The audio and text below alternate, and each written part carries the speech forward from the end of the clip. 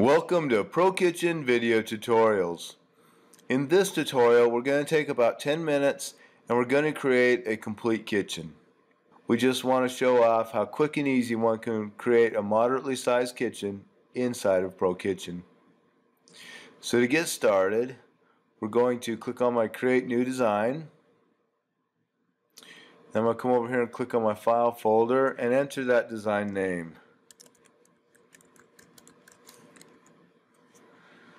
And we're simply going to name it design in 10 and save. Now we can come up here and we can set up our customer dealer designer yada yada yada. But that takes a little more time than just the 10 minutes. So we're simply going to catch a couple of these. We're going to do our moldings. We'll set our top molding and our toe kick. And then over to 3D we're going to set our countertop and our wall covering.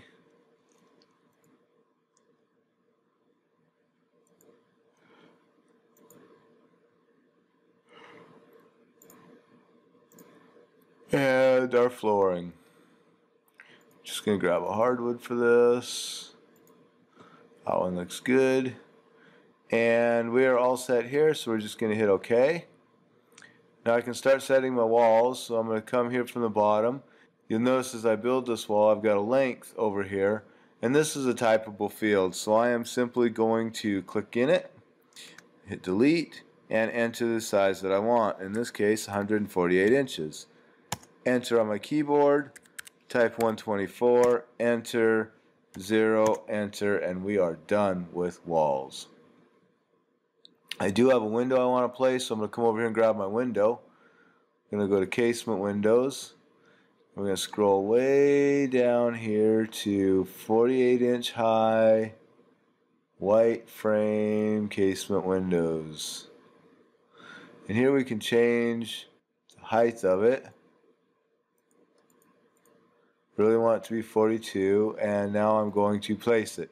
I'm going to drop it on this wall and I know I need 50 inches from the corner of the wall to the edge of my window.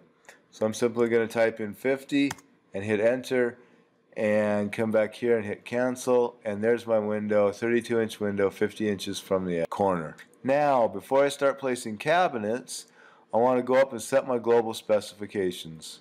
There's only a couple of them here in 6 square so it'll be easy. And vanilla. And there are all of my global set so we're going to close that and now we're going to come down here and start building our actual kitchen. I want to start with my base cabinet so I'm going to click on base. I'm going to drop down to corner base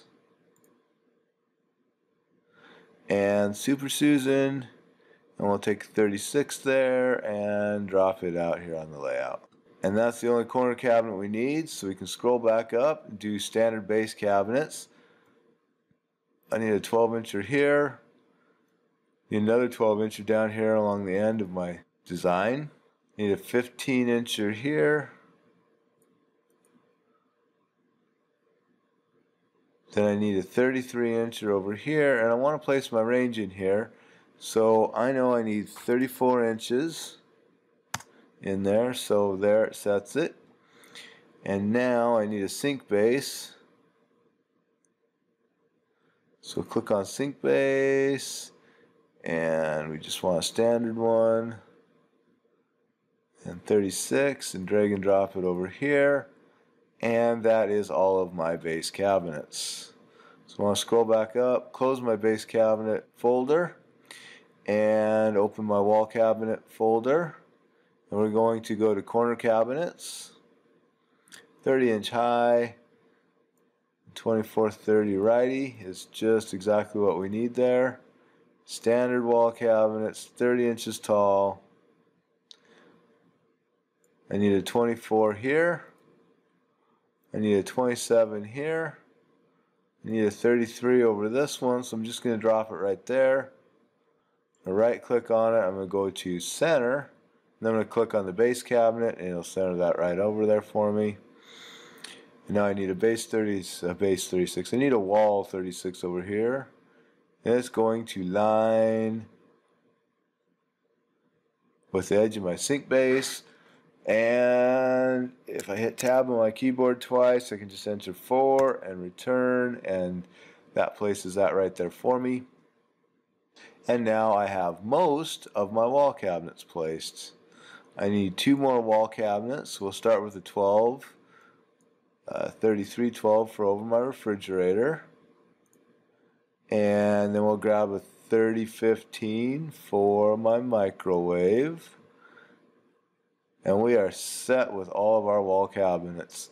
Now, I need a few appliances. So we can come put those in. I'm going to click on my appliance tab. We'll go to cooking and microwaves and over the range and we're going to do this in black so I'm going to grab the black one and place him and then ranges, electric ranges. I don't want to slide in or drop in, so I'm going to scroll down here to the black ones and place him. And now I need a refrigerator. We'll do a top freezer. And we will take this black one right here and place. And finally, I need a dishwasher. So we'll take this black one right here and place him right there, slide him over to the sink, and now hit cancel and grab that base 12 and drag it over to the dishwasher, and now all my appliances are set. I need to put a sink and a faucet in my sink base, so we're going to go to Attributes, Sinks and Faucets tab, now I've got Kohler and the plumbing catalog, our default catalog. So we're just going to stay in our default catalog. We're going to go faucets and you notice as we scroll through here, shows us what they are. So we're going to take that one, add, sink, same thing, two basin, scroll down here till we find the one we like. Do this one, add. Now I see I've got a sink and a faucet in here. And okay. And there's my sink and my faucet. Now let's take a look at our elevation. So I'm going to click on my wall. I'm going to come up here and click on elevation and you'll notice that my microwave has a little space above it there. So I'm going to click on my microwave. I'm going to grab this little green handle. I'm going to drag it up. And it pops right into place. Now I want to take an elevation of my other wall. So again, highlight the wall, click on the elevation button, and here's my other one. You do a little zoom in on that so everybody can see. And you'll notice my sink or my window here is a little bit low. So I'm simply going to click on it here and now I can attempt to set it. I know I want it at 12 inches, but it's kind of hard getting it exactly 12. But you'll notice there's a cursor in our info panel. So I'm just going to hit backspace, 12, enter, and there we have it. Now, going to close out of that so my screen's a little bigger. Now we're ready for countertops and moldings and all that good stuff. So there's two places you can, so there's two ways that you can place countertop. We can do it by our countertop button or we can go to our countertop designer. Now the button's faster than the designer is, so we're going to use that. So we click, countertop is blasted out there. I'm going to come down and click on my backsplash to set in my backsplash. And remember when we were in design settings, we went in and we set some moldings. So we're going to click on the molding button. It's going to automatically place our crown and our toe kick for us. Now we have built our design. Let's take a 3D and see what it looks like.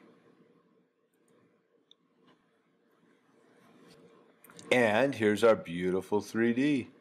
Can rotate it around just a little bit. Centered up.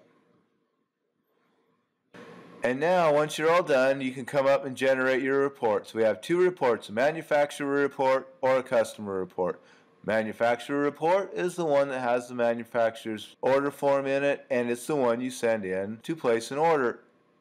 Customer report will generate real quickly, has all these options in it you can add.